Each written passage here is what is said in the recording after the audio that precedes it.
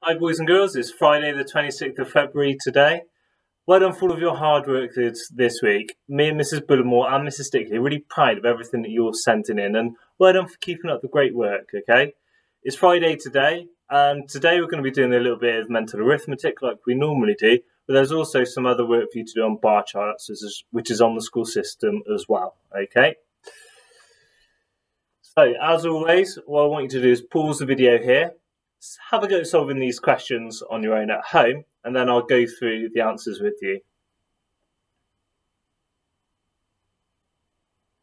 Well done, boys and girls. We're working with those larger numbers again. 3,409 and 9 add 3,382. We put one of the numbers on the top. We put the other number beneath it, but making sure we line up our thousands, hundreds, tens and ones. Making sure we've got an add sign and we've got an equal sign here too. Okay, 9 add 2 is 11. That's made of a 1 and then an exchanged 10. Okay. 0 add 8 is 8. Don't forget that 10 down there. That makes 9. 9 in the tens column. 400 add 300 is 700. 3000 add 3000 is 6000. 6791. 301 subtract 27. We set it out, bigger number on top because we're always taking away from that larger amount. 301 subtract 27. Subtract sign equals sign. We always start with our ones, this column here. 1 subtract 7. Here's 1. I can't take 7 away from it. It's quite difficult. We need to make it bigger. So what we normally do is we look at the tens column here. We've got nothing in the tens column. So I have to go over again into the hundreds where I can exchange 100. I change that to a 2. I exchange that 100 for 10 tens because 10 tens equals 100. Now I can look at my tens column. I've got 10 tens in there. Let's exchange one of those for 10 ones. 11 subtract 7 is 4. 9 subtract 2 is 7. 2 subtract nothing, so I've got nothing representing the hundreds in the number below. 2 subtract nothing is 2. My answer is 274. Now then, Here's the final one. 46 times 2. We put the large number on top.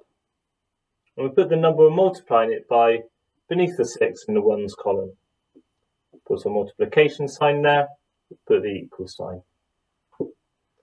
We always multiply our ones first, so 6 times 2.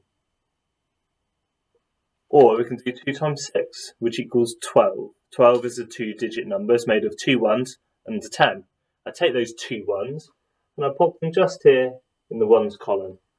I take that 10 of the 12 and I pop it down here. Put a circle around it because I need to add that on later. Now, we look at our tens. Four tens multiplied by 2 is 8 tens. And don't forget to add on that other 10 there.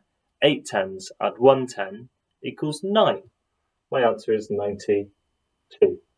How did you get on, boys and girls? Could you work out the answers? Well done if you did.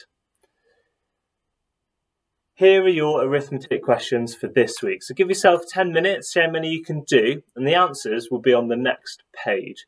All of this is available on the website, or if you want to, I can zoom in now and you can pause the video, write your questions down, then give yourself 10 minutes, okay? I'll zoom in now, give you time to pause, and then I'll move on to the answers, okay?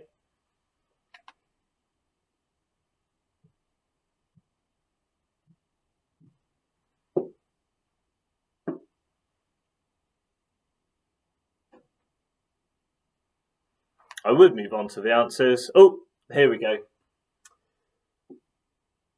Lovely. So take a little screenshot of that, answer the questions, and then get the answers on the next page. Well done, boys and girls. How did you get on? Did you find that you could use your math skills and you're getting a little bit quicker? Well done if you did. You're doing a great job. Here are your answers. So again, pause the video here, and then you can tick your answers off or screenshot the uh, video if you want to. Um, brilliant stuff. Well done. Okay. Don't forget to log on to Mathletics for some tasks for this week, something a little bit different, but also on the website, there's a few more bar chart examples for you to have a go at too. Well done for all of your hard work and enjoy your weekend. Well done. Speak to you soon.